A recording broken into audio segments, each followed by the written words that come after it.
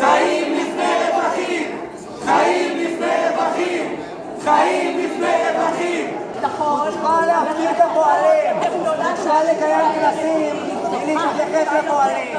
שרי הממשלה הם חוצפה. אתם יכולים לנהל הפגנות תיקחו. תעלו שנוח לכם אנחנו נפגין. אתם לא תחליטו איפה אנחנו נפגין.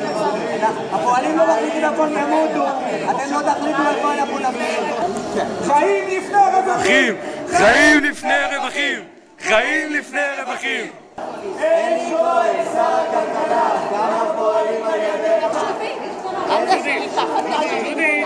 מתביישת? תתביישי באלה שמתים. תתביישי אנחנו מתביישים בקבלנים. אנחנו מתביישים בשרי הממשלה. אנחנו מתביישים באחרים. לא מתביישת. אני מתביישת בזה שאנשים מתים. בטיחות לפני רווחים! בטיחות לפני רווחים! בטיחות לפני רווחים. בטיחות לפני רווחים!